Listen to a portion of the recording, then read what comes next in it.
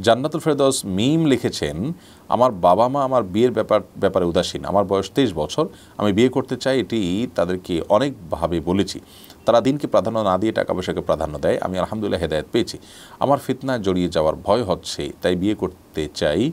এ অবস্থায় আমি যদি নিজে পাত্র পছন্দ করে বিবাহ করি, তা শরীয়তসম্মত হবে কি না আপনি যদি প্রাপ্তবয়স্ক হয়ে থাকেন, সেক্ষেত্রে আপনার অবশ্যই বাবা মাকে সন্তুষ্ট করে তাদেরকে আস্থা এনেই আপনাকে বিয়ে করা উচিত। প্রয়োজনে আপনার অন্যান্য অভিভাবক, অন্যান্য মুরব্বী, অন্যান্য আত্মীয় স্বজন যারা আছেন তাদের শরণাপন্ন হয়ে তাদের মাধ্যমে আপনার বাবা মাকে বোঝানোর চেষ্টা করবেন।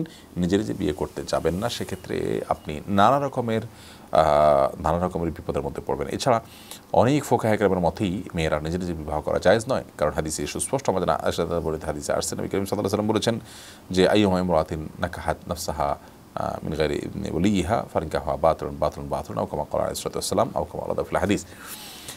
কোনো মহিলা নিজেকে নিজে বিয়ে দিলে একাকি, তার বিয়ে বাতিল হবে বাতিল হবে বাতিল হবে। যাই হোক, এটা মোখতালাফি একটি মাস আলা আমরা শুধু এটুকু বলব যে, অভিভাবককে বাদ দিয়ে এই ধরনের বিয়েতে সাধারণত কল্যাণ হয় না।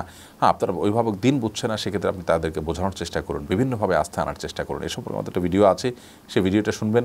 যদি আপনি বিস্তারিতভাবে সকল কাজ শেষ করেছেন, এরপরও আপনি গুনাহে লিপ্তই হয়ে যাচ্ছেন, তারা কোনোভাবে দিনের পরে কোনো পাত্তাই দিচ্ছে না, তাহলে তারা, তার আপনার অভিভাবকত্ব করার অধিকারে রাখে না, অর্থাৎ তারা অভিভাবকত্বের যে যোগ্যতা সেটাই হারিয়ে ফেলেন।